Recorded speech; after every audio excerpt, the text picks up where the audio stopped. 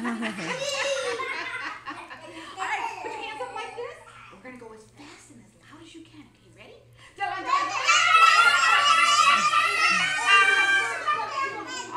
Oh, I see it. You did a good job. Go ahead, reach inside, show everybody, and go. Ta!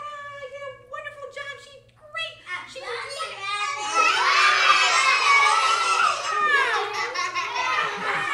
You did right on our bunny. We're gonna put him back in there. We're gonna put the doggy back in there. We're gonna put the caterpillar back in there, and I'm gonna put my brother Billy in there and say, "You go find that horse." Okay, let me get you a magic wand. Oh, I have one right here. Now, what's the word we don't say? Oh no, you said it! oh, okay. I'm gonna give her the magic wand. We're gonna have her wave it up, wave it down, wave it this way.